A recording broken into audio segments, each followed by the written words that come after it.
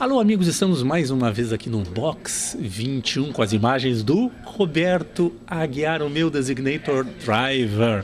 Sabe o que é o designator driver?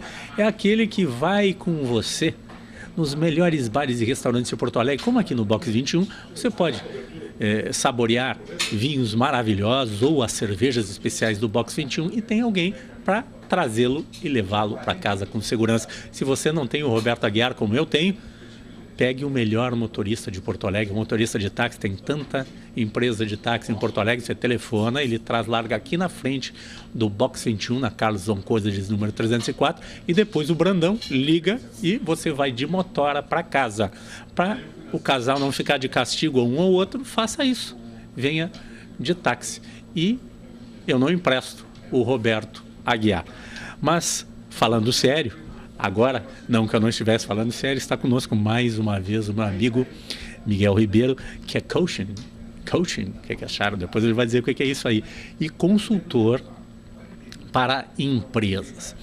Mas o Miguel, já começando aí, muita gente eh, leva a vida de barriga, né? Vai, leva a vida, se tá para onde o vento vai, a gente vai. Mas tem outras pessoas mais obsessivas que gostam de planejar a sua vida. Outros chegam aos detalhes de planejar a sua carreira, planejar determinada atividade dos filhos, né, atividades familiares. E nós vamos falar sobre isso, sobre o planejamento da sua vida, o planejamento da sua carreira num mercado cada vez mais competitivo, onde pequenas diferenças fazem tem muita importância, né? Tem aquele velho ditado, né, que e, e, e, no meio do tiroteio quem tem um olho, né, é rei, né? É, então, ou em terra de, de cego quem tem um olho é rei também é muito importante a pessoa planejar, tá? Tanto que as pessoas que têm eh, alguma dificuldade hoje planejam muito a sua vida. Hoje nós temos pessoas com dificuldades aí nas empresas, nas organizações, que planejaram muito as suas vidas e são extremamente qualificados e passam nos concursos com maior facilidade, porque planejaram aquilo, olha, eu quero isso na minha vida, vão lá e conseguem tirar os primeiros lugares nos concursos. Mas já planejo isso desde muito cedo, não é da semana passada para a semana que vem, porque não adianta, ninguém passa em concurso, né, se inscrevendo no concurso, tem que estudar, né? Ninguém passa no vestibular na faculdade pública se não estudar, né? Já dizia o Martinho, Martinho da Vila, dizia, né? Felicidade, passei no vestibular, mas a faculdade era particular. E como era cara, e como é cara a faculdade particular. Mas falando desse planejamento da vida, Miguel, que as pessoas que têm mais visão do que está acontecendo no mundo, nesse mundo competitivo, é, começam a se mexer desde cedo, ou se não é cedo, nunca. Ah, antes tarde do que nunca, né? É, como se comportar nesse mercado que exige esse planejamento? Ricardo, um prazer estar aqui mais uma vez no teu programa. É, respondendo à tua pergunta, é, eu diria o seguinte: as pessoas de sucesso, todas elas usam a ferramenta do planejamento. Quem não planeja é como uma folha ao vento. O lado que o vento bater, essa folha vai ir. Então, planejar é fundamental. Planejar a vida, planejar a carreira é fundamental. Todos nós sabemos disso. Tem coisas que são óbvias e de tão óbvias não acontecem, as pessoas não fazem.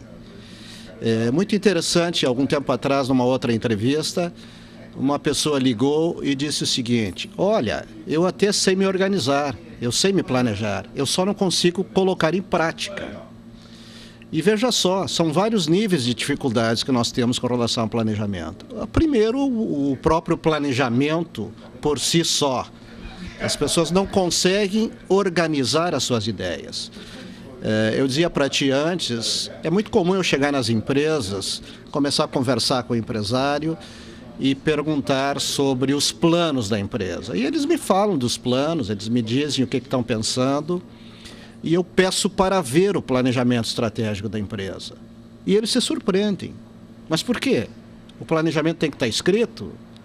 E eu respondo: olha, tudo que não está escrito, não, na verdade, não é um planejamento, é um pensamento, é alguma coisa que você sonha, é um objetivo que você tem em mente. Mas planejar é você trazer esse objetivo para o papel e analisar técnica, econômica e financeiramente aquele objetivo. Como é que eu chego lá? Qual é o passo a passo? O que, que eu preciso fazer? E aí entra uma questão muito importante que, para tudo aquilo que a gente quer fazer bem feito, a gente tem que ter a competência necessária. E o conceito de competência, modernamente, é o seguinte: é o conceito do chá. A pessoa competente é aquela que tem conhecimentos, habilidades e atitudes para realizar e chegar no seu objetivo. Então, o que, que acontece com as pessoas que dizem que têm planejamento e não conseguem realizá-lo? Normalmente elas dizem: olha, não adianta planejar porque muda tudo. Toda hora muda tudo. Eu costumo dizer o seguinte: eu tenho meu próprio planejamento e concordo com essas pessoas. Realmente muda. As circunstâncias são grandes. É, quando você planeja, você analisa primeiramente o ambiente interno, os teus pontos fortes e os teus pontos fracos, e num segundo momento você analisa o ambiente externo, as ameaças e oportunidades. Essas ameaças é que normalmente te fazem mudar o planejamento. Mas mudar o planejamento não quer dizer que você não tem que ter planejamento, porque eh, gerencialmente nós temos uma ferramenta chamada PDCA, que quer dizer, uma sigla inglesa quer dizer o seguinte: planeja, executa, avalia o que foi executado e corrige o que não deu certo. Planeja novamente, executa, avalia e corrige. Planeja, executa, avalia. Se deu certo, você estabeleceu um padrão. Você tem um padrão de como fazer aquilo de uma maneira correta e com resultados satisfatórios. Ou seja, você precisa planejar, você precisa executar para descobrir como fazer. E aí, quando as coisas não dão certo, tem várias outras situações. A gente normalmente diz que mudou no campo externo. Ah, as circunstâncias externas mudaram. A gente não se dá conta que a grande maioria dos planejamentos, Orlandini, eles não dão certos porque as pessoas não conseguem se autoavaliar. Elas não têm autoconsciência, não têm inteligência emocional, não têm autoconhecimento. Consequentemente, elas falham nas suas atitudes, comprometendo a sua competência e, com isso, não conseguem atingir os seus, os seus objetivos. Então, planejar é muito mais complexo do que parece. E nós podemos hoje, com o processo de coaching, que é o que você estabelecia antes, como o nosso tema aqui, nós podemos hoje contar com personal coach, que é uma pessoa que acompanha o cidadão comum, o empresário, o executivo, o estudante, o, o aposentado que se julga novo ainda e quer exercer uma nova atividade, eh, esse personal coach pode trabalhar junto com essa pessoa, realizar um diagnóstico dos seus pontos fortes, seus pontos fracos, eh, ajudar essa pessoa a, a corrigir, digamos assim, é, aquilo que está errado no, nas suas atitudes e, consequentemente, atingir os seus objetivos. É disso que nós estamos falando. Daqui a pouquinho o Miguel vai estar nos falando mais sobre esse mundo do coaching e também mais uma pergunta. Miguel, tu falasse do planejamento estratégico que está na mente, mas tem muito planejamento estratégico que foi feito, aquelas reuniões maravilhosas, vão para Gramado, Canela, vão para alguma praia paradisíaca, a empresa se reúne e faz um belo de um planejamento estratégico de ficção e que não sai desta ficção que é outro grande problema. Este é o ponto, ponto net.